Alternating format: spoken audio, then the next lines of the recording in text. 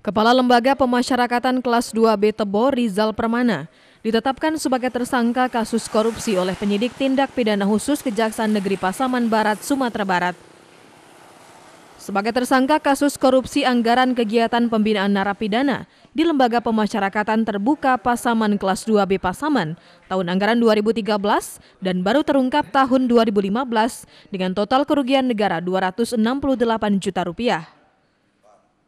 Saat itu Rizal Permana menjabat sebagai Kalapas di Pasaman. Penetapan Rizal sebagai tersangka dibenarkan Kepala Kantor Wilayah Kementerian Hukum dan HAM Jambi Bambang Palasara. Lebih lanjut dirinya menyebutkan untuk proses hukum menjadi kewenangan Kejari Pasaman. Bahkan Bambang memutuskan terhitung 13 September 2017 Rizal Permana diberhentikan sementara dari jabatan Kalapas Tebo digantikan oleh pelaksana tugas. Bahkan Rizal Permana akan dipecat tidak dengan hormat bila telah ingkrah difonis pidana dua tahun penjara atau lebih. Betul, jadi salah satu kepala lapas kita, lapas Tebu, itu telah ditahan oleh Kejaksaan Negeri Pasaman kalau nggak salah. Dan sekarang posisi ada di tahanan di Rutan eh, Padang. Gitu.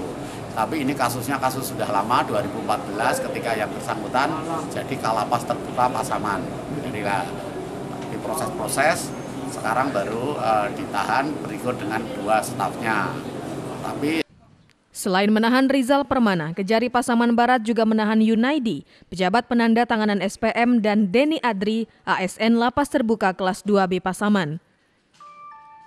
Dikhawatirkan menghilangkan barang bukti pasca penetapan tersangka, Ketiganya langsung dijebloskan penyidik Kejari Pasaman ke lapas kelas 2B Anak Air, Kota Padang, Sumatera Barat.